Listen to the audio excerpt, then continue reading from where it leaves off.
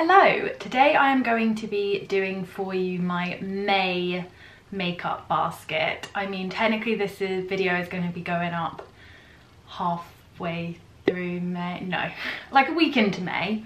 Um, but yeah, this is when we're filming it because this is really every month is the same now anyway. Are there different months? I don't think so. I have been putting off this video for about two months.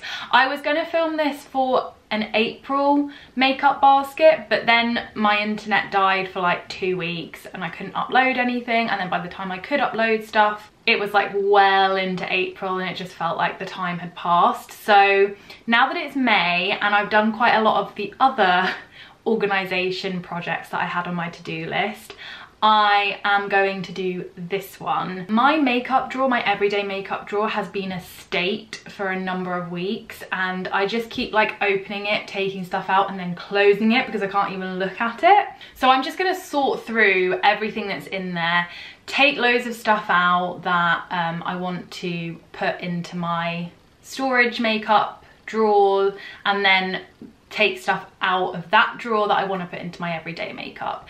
Um, and then we're going to put it on our face. So I'm going to get into it. I'm going to just speed through me picking the stuff and then I'll talk you through basically what I've chosen as my everyday makeup basket for this month and then we'll put it on our face. Sorry if it's a little bit backlit, but hopefully you can see the actual state that is my everyday makeup drawer. I just like put things in there when I pull them out of my other drawers and it's just a big, big, big, big mess. Like it's new stuff that I've bought over the past couple of months. It's just too much. So let's pull this all out and sort through it.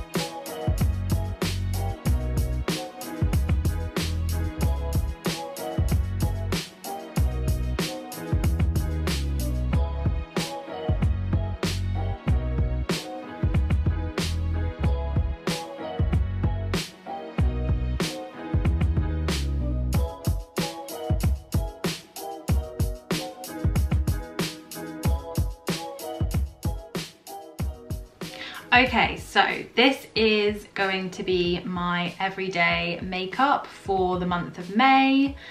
I don't film these every month, but I try to switch up what I'm using even if I'm not filming it every month, just so I'm trying to work my way through my collection a little bit more. Um, but yeah, I'll talk you through all this. This is the stuff that minus that that was in my lip stuff but this is the stuff that is going back into my storage drawers. So for the everyday makeup that I'm going to use this month I have just got this Pixi Glow Mist so I wanted to keep that in there. I'm sorry if anything's out of focus it's just I can't see properly. Really enjoying it so far but I've only literally used it like twice. So I'm keeping that um, to try out some more. Base wise, I've got a couple of primers. I've got this Smashbox Radiance primer and the Watermelon primer. These are the only primers I own. Um, don't really love this, but trying to use it up really love this. Foundation, I have got my Ciate Extraordinary Foundation in 106P Silk because this is like my tan shade and I am fake tanning fairly regularly at the moment. And then I want to try and use up this Hourglass Vanish Stick Foundation. Not use it up, but just use it more. The, um, this is the 100% Pure, I don't know what it's called, it's, it's their concealer. Um, it's in the shade 2, but it's really, really dark, as you can see. Again, I'm just trying to use this up. It's way too dark, even when I'm tanned. I do like the formula, but it's really expensive and the shade range is just so abysmal that I probably, like, this is shade two, come on, like, really? Um, so yeah, even shade one, like, I don't know if that would be light enough or if that's gonna be too light. It, it, it's a whole thing. So I probably wouldn't repurchase it, just wanna get rid of it now at this point. Um, the Milk Flex Concealer in the shade Creme. I'm keeping this in there to mix with this so that I can get a better shade. Hourglass Veil Translucent Setting Powder, only powder I own. Again, trying to work my way through it, just keep it in my everyday makeup all the time. Blush wise, I am going to play around with these ones. This is the Bare Minerals um, Gen Nude blush in the shade Call My Blush. It's a really pretty kind of rosy pinky shade. And then we've got the Milani Luminoso Baked Blush. I am feeling like I'm gonna mix these on my cheeks today. Also the NYX Dark Circle Concealer Corrector. I don't know, something like that. I just keep that in there for correcting under eyes. Physicians Formula Butter Bronzer. I pulled this out of my drawers. Physicians Formula is no longer a cruelty-free brand, but I do want to try and use this up more. Um, it's a really nice summery bronzer, but it's very, very fragranced. This is the RMS Beauty Living Luminizer. I'm really enjoying this as a cream highlight at the moment, especially in spring, summer. I think it's lovely to use cream highlights. And then for powder highlights, I pulled out my Becca Opal. This is so old now, but um, I use this every summer when I am like tanned or fake tanning or whatever because it just pops in a way that it never pops the rest of the year. Um, yeah, I don't wear this when I'm not tanned because it just, it's too dark for me. This is the Milk Flex highlight in the shade Lit. Absolutely love this highlight, have raved about it too many times, so we won't go on about it now, but this is just a really good one and I've been enjoying using it again, so I wanted to keep that in my everyday drawer. Eye-wise, I'm just sticking to these three products for eyeshadow. This is the Charlotte Tilbury Palette of Pops in Pillow Talk. Just really nice shimmery toppers. And then this is the Charlotte Tilbury Eyes to Mesmerize in Rose Gold. Though both those products are new to me and I'm still testing them out and seeing how I feel about them because I am going to do an in-depth Charlotte Tilbury review. So needed to keep those in there. And then this is the Pixi times Heart Defensor palette. It's a really beautiful sunset palette. And I just thought it would be really nice to use these shades when the weather's a bit more summery. So I wanted to play around with that. And then I've got my eye primer by Terre This mascara is the Charlotte Tilbury Legendary Lashes Volume 2. I'm really enjoying it, but it does smudge a little bit under the eyes, so I want to test it out some more. This is the Legendary Brows, brilliant brow gel. This is the um, Fiore Minerals, just crayon eyeliner and a liquid eyeliner that I just keep there for when I need. And then lip wise, I've got a few different ones. So lip wise, I tend to just use whatever I feel like on the day, but I will, when I do these everyday makeup baskets, pull out certain lip products that I want to try and use once or twice in the month and make sure, you know, like prioritize those over all my other lip products, just so I get use out of them really. So the ones I've chosen are the Eye of Horus Bio Lipstick in the shade Honey. This is a really pretty sort of darker nude. This is Charlotte Tilbury Super Cindy. These two are quite similar and I thought it might be nice to layer them, so. This is the Ilia Shell Shock Tinted Lip Conditioner. Absolutely love this shade for summer and had to pull it out again because otherwise I will forget that I have it and I love it so much. This one is the Charlotte Tilbury Superstar Lips, I think they're called, in Pillow Talk. Again, I'm testing this out still deciding how I feel about it. So just wanted to keep that there to remind me to use it. And then this is the Bare Minerals lip gloss in the shade Sugar. Again, just a really pretty nude. Just don't get enough use out of it. And then this is the Lip Cheat from Charlotte Tilbury and Pillow Talk. So just the lip liner. Again, testing it out. So that is everything. So I'm gonna put all that into my little boxes and then we're gonna put it on my face. Actually, I might do it the other way around. I might put it on my face first because it's all in front of me nicely now. so I have done my skincare today and put sun cream on, but I am gonna spray a little bit of this Pixi Glow Mist just to add a little bit more of a layer for my foundation to sit on. I don't really want to use primer today. I'm just not really feeling it. Um, so I'm going to skip that and just use the setting spray. I just washed my makeup brushes like two days ago and I haven't used them since and I'm so excited to use them. I think I'm gonna do eyes first. So I'm going to use my primer and just lay that down as a base. I might as well, I guess, just use everything in here. All three eyeshadow products. So I'm gonna first take a little bit of the Eyes to Mesmerize in Rose Gold and I'm just gonna pat that over and blend out with my finger.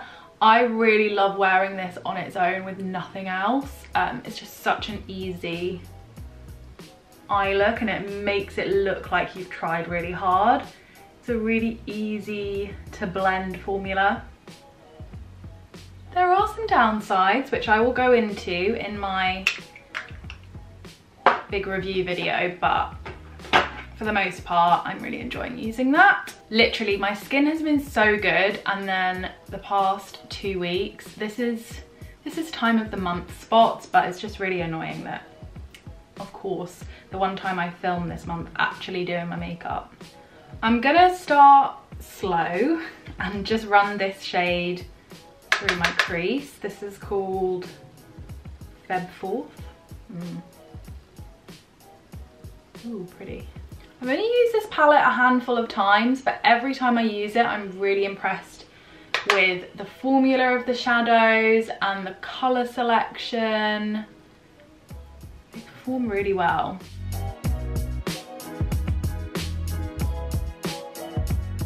No, I'm gonna stay away from the dark pink today. I'm just going to, I'm just gonna deepen up the crease because then I'm gonna use that palette of pops. Okay, so I'm going to use this dark brown shade called Lip Sync.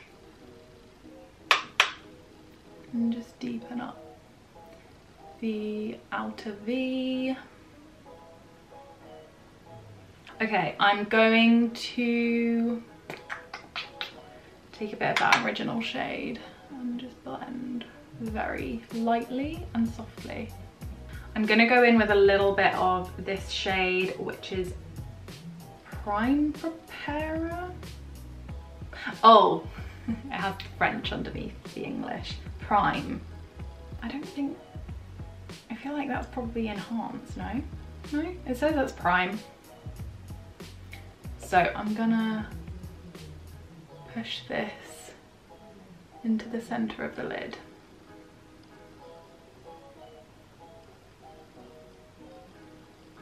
This doesn't look too similar to the last eye look I did.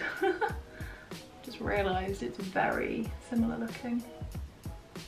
Okay, just gonna blend a bit more. I feel like it's looking a little bit muddy over here. So I'm gonna take some of the lightest shade here. Same brush that I used to blend before. And just try and clean that up by buffing it a little bit.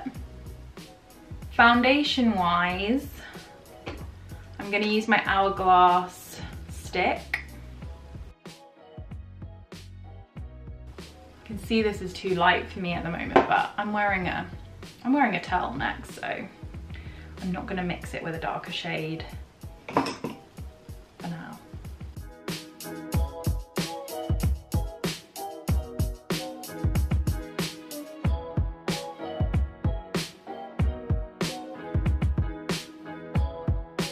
I'm just gonna give that foundation a minute to like settle into my skin because it does always get more glowy when you've been wearing it for a few minutes. It can be quite dry and difficult to blend at first, but then the oils really come through. So I'm just gonna leave it and then whilst I'm waiting, I'm just going to add a little bit of the RMS Living Luminizer to the high points of my face.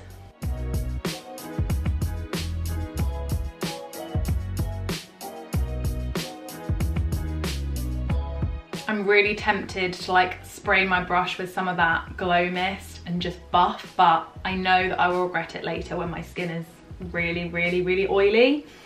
So just trust the foundation. I am now going to add a little bit of concealer because I can already see it starting to mesh a little bit better into my skin. Because I haven't gone in with a darker foundation colour, I'm not going to use this dark concealer from 100% Pure. I'm just to go in with the Milk Makeup and I'm to correct first with the NYX Dark Circle Concealer. My eye did have a little bit of an allergic reaction to an eye cream yesterday, basically because I didn't realise that there was retinol in the eye cream. I got it as a free sample. It was Charlotte Tilbury's Magic Eye Rescue I got it as a free sample. I didn't look up the ingredients. I was just applying it. Felt really moisturizing, really balmy. And then my eye goes really, really dry and flaky yesterday. And I'm like, what, is that? I thought, I thought maybe it was the essential oils in this, but then I looked up the ingredients on the Magic Eye Rescue and it's got retinol in it. And I was like, oh my god i've been applying this every single day if you follow me on instagram you might have seen that i got some retinol products from Pixi in pr and I was really careful with that. I was like, I'm just gonna use this tonic. I'm just gonna use it once and then I'm gonna wait a week and then I'm gonna use it again because I need to like warm my skin up to it. Little did I know that I was applying this eye cream with loads of retinol in it every single evening this week. Um, so no wonder my skin was like, what the hell are you doing? so I've just ordered some of my Green People sensitive eye cream, which I always use when my eyes start freaking out um, because it is something that happens to me once or twice a year. I get a reaction under my eyes from products. So they're a bit dry and just crusty at the moment, but we'll work with it. Oh, I feel like that foundation already looks so much better than it did when I first applied it. So I'm just going to go in with my buffing brush and just kind of like stipple areas that need a bit more blending.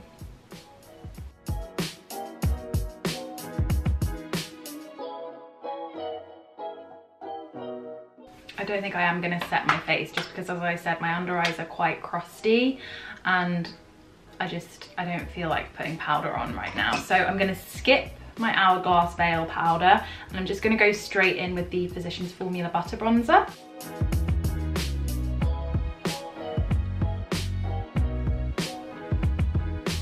I'm going to use a tiny bit of powder just on my blemishes. For blush, as I said, I'm gonna mix these two.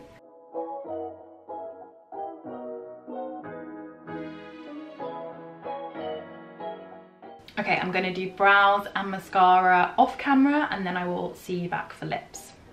For lips today, I'm just going to use simple, keep it simple, keep it classic. Um, I was going to wear, layer these two lipsticks, but I just think for this look, it's quite a fresh summery look and I feel like it will just look too heavy. I will show you them swatched though. So this is Charlotte Tilbury Super Cindy and this one is the Eye of Horus honey. They're very similar but slightly different and I just think they would look really pretty layered. We'll save that for another day. Today I'm just going to wear some of the Charlotte Tilbury Pillow Cheat in Lip Cheat in Pillow Talk with some of the Bare Minerals Sugar Gloss over the top. I hope they still sell this. I got this a, a year and a half ago. I, I know they've like changed their a lot of their like products up so I hope that this is still available.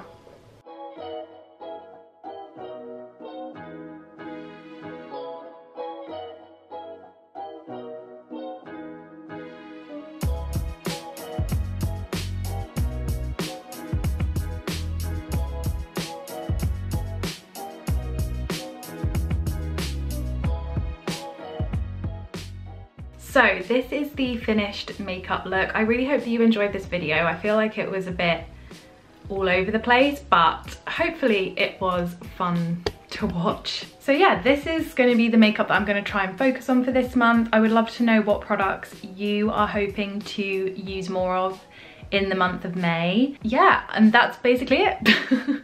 so I hope you enjoyed it. Don't forget to like and subscribe if you do want to see more from me and I will see you in the next one. Bye.